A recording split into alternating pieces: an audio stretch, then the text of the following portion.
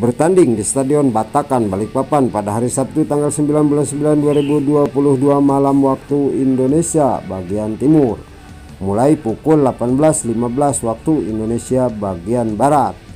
Persiba Balikpapan optimistis bisa mendapat poin penuh saat menjamu Mutiara Hitam. Bertindak sebagai tuan rumah, Persiba Balikpapan bertekad untuk mengalahkan Persipura Jayapura pekan ini setelah pada pekan sebelumnya diliputi kekecewaan. Diketahui pekan lalu tim berjuluk Beruang Madu itu hanya mampu bermain imbang melawan Persipal Palu dengan skor 0-0 atau skor kacamata. Namun membekuk Persipura bukanlah perjalanan mudah. Tim berjuluk Mutiara Hitam itu mengawali Liga 2 dengan api.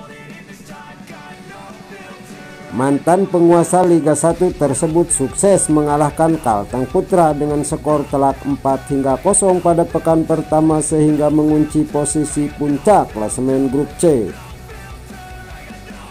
Kemenangan itu tentu menjadi modal bagi sekuat Mutiara Hitam untuk bertandang ke markas Persiba mereka pun memboyong 24 pemain termasuk striker Patrick Suanggai. Sebelumnya Wanggai tidak bisa diturunkan di laga perdana Persipura karena menjalani sanksi skor yang didapatnya di musim lalu.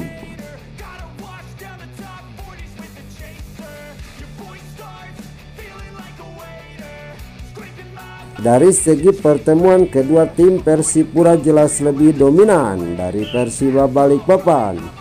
Pasalnya Persipura Jayapura belum pernah kalah dari Persiba dalam 10 pertemuan terakhir mereka.